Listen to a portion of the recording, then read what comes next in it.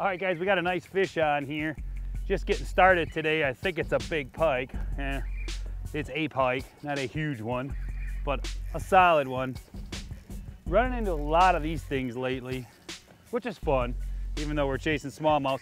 What I want to talk about today, guys, is throwing swim baits. It is super effective. I'm actually going to grab the net on this guy here because he makes me a little nervous the way he's hooked.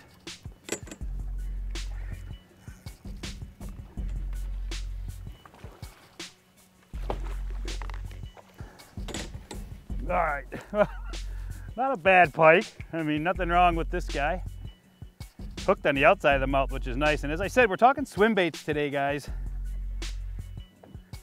Little Keitech like that, cool little bait. I'm gonna show you all about how to throw these things, where to throw them, when to throw them, and some tips on how to get the most effectiveness out of them. Not too bad a fish to start the day, but we're gonna catch some big smallies too, so stay with us.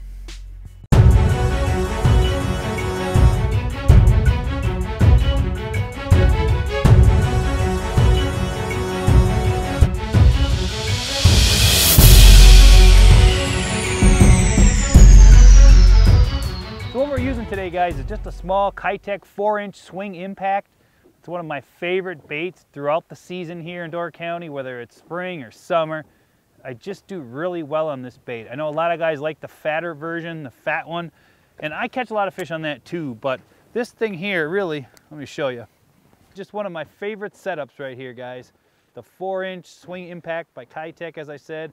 This is an electric shad color. It's got a little blue fleck into it. Just a good all-around simple swim bait. And when you're throwing these, you really wanna keep it as simple as possible. It's a throw it out and slow and steady reel it in for me. I know a lot of guys like to impart too much action on it. When I get clients in the boat, oftentimes I see them jerking or pausing and speeding up and all kinds of different things. And, and on some days that works, don't get me wrong.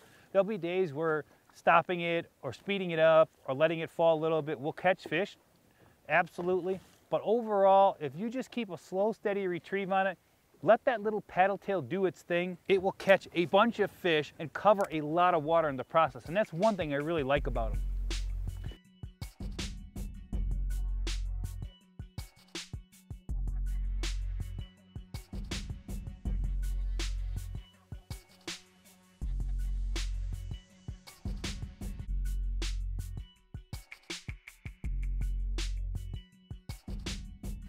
Ooh, there's one, guys. These swim baits are so fun. There's just one of those cool, they're just one of those cool setups that just work year round. And for that reason, they're really one of my favorite baits. Another nice smallmouth. You know, like I said, whether you're targeting walleyes, smallmouth, pike, these little baits these little Keitechs or any kind of paddle tail that you prefer really do catch them year round.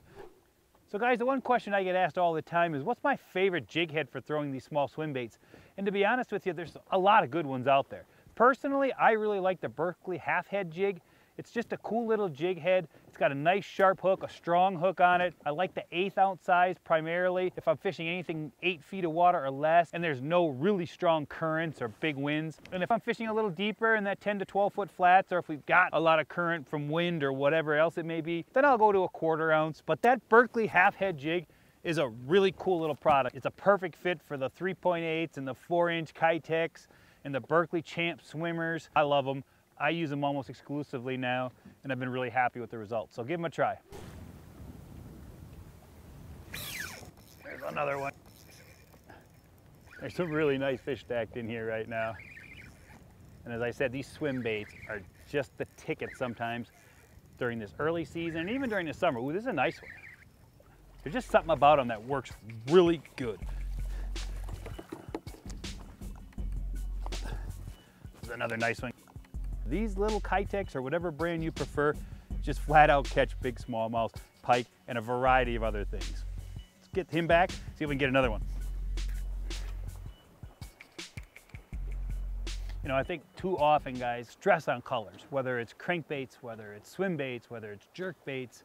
And I know a lot of guys might disagree with me, and I understand that on a given day, we'll see one color completely outproduce another.